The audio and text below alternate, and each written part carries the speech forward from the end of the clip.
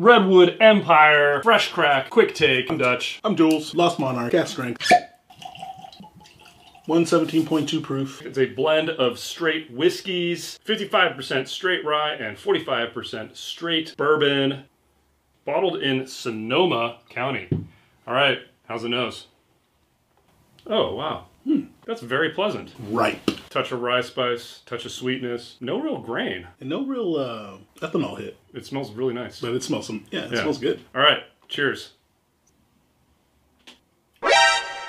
There's the. oh god, But the palate's pretty nice. it's a bit grainy for me. Really? It's mostly on the finish for me. Yeah, up front there's a nice sweetness. Yeah. The grain does build. Oh build, man, it builds. It's pretty strong. and it gets to be a little bit too strong for oh, my taste. Yeah. But overall, Wow. pretty enjoyable dram, high proof. Not going to be one of my go-to sippers, but an interesting expression, I think. What do you think? I will punch you like a monarch.